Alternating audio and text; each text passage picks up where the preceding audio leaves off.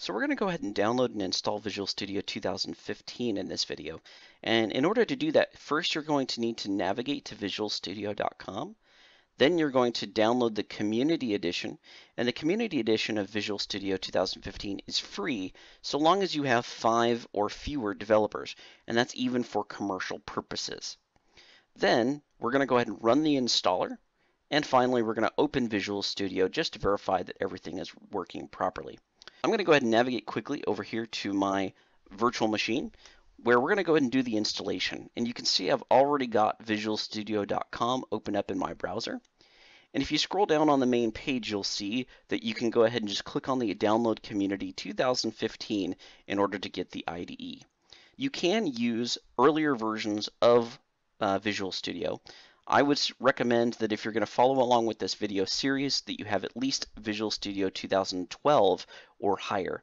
Uh, anything less than that and your screen is going to look a little bit different than what we're going to be seeing through the, throughout this course. I'm going to go ahead and download the Community Edition 2015 just by clicking on the button and it should automatically go ahead and download but if not you can of course click on the click here to retry button. Okay so here we are at the first screen after we start to uh, do the installation and you can see it's just going to prompt us to use either the defaults or you can go through a custom set of options for your installation.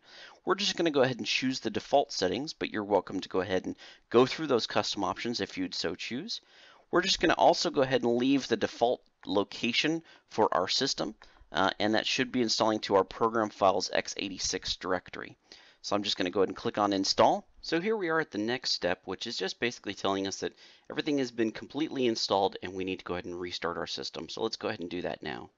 Okay, so after our system is restarted, we should be seeing this uh, Welcome to Visual Studio website should come up automatically.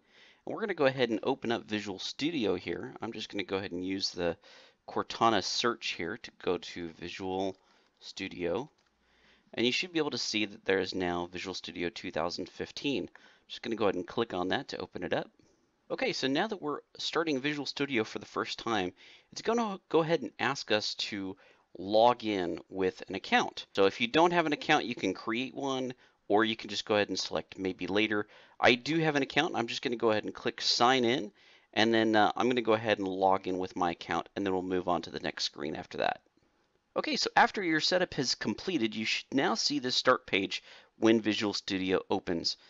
Uh, now, the, on this start page, you will see different things like news articles you can read uh, and featured videos to help you uh, to help guide you through Visual Studio and some of the code development that you might be able to do in Visual Studio. So let's go ahead and move on to the next step, and that's going to be to create our own project.